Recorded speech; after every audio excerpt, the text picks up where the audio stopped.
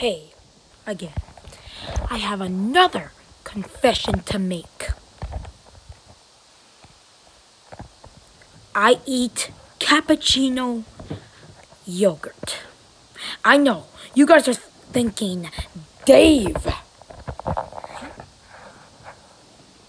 you, why cappuccino and yogurt don't go together? That's what I thought.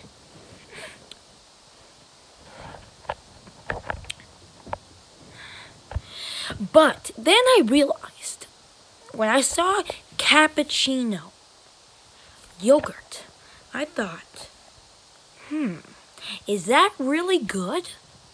Can that, is that something that's existable? Ex I don't think I said that right. But is that something that's real? I tried it. It was very good. And I was like, how is cappuccino and yogurt together good? I guess, and you, and guess what? They add sugar. That's how it's good. They add sugar. So that's, so that's really something.